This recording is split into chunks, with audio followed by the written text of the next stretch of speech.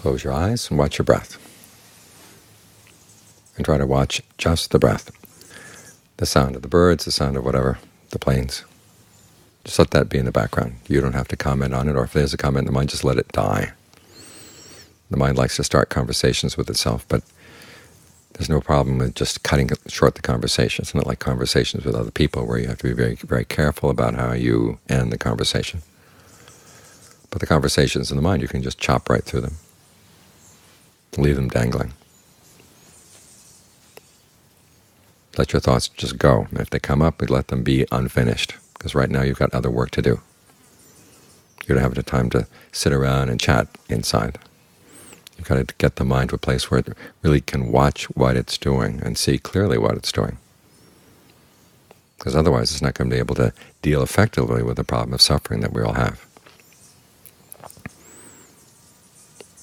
So whatever else comes up, it's none of your business right now. And it has no business interfering with you.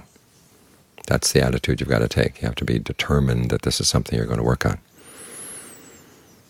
The Buddha talks about the determination of goodwill, the determination that's required to accomplish anything in life. And part of it, it re requires letting go of things that you may like, and really being true to your your intention that you want to do something skillful here. You want to develop the mind in this particular direction. That requires making choices. It requires making sacrifices. There's no cushioned path all the way to nirvana. There are going to be easy passage, patches, patches and difficult patches. Just make sure that you're not the one that's creating the difficulties. And you don't make difficulties out of things that are outside. Otherwise it's going to be hot again for another day or two. But that doesn't have to be a difficulty. The, the breath is still there. Your mind is still there. That's all you need.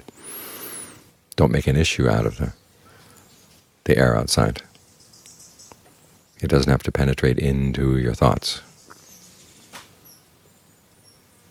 to be very determined that this is where you're going to stay, because it's that quality of determination that makes this something that really will change the mind. Otherwise, the meditation just becomes one more decoration on top of your mind. Doesn't see it very deeply inside because it hasn't fought against anything at all. It just kind of moves around wherever anything might push it. And that way it doesn't get to seep inside. It's like a relationship. Okay, sometimes you have to have an argument first and see how the other person deals with arguments before you know you can trust the person.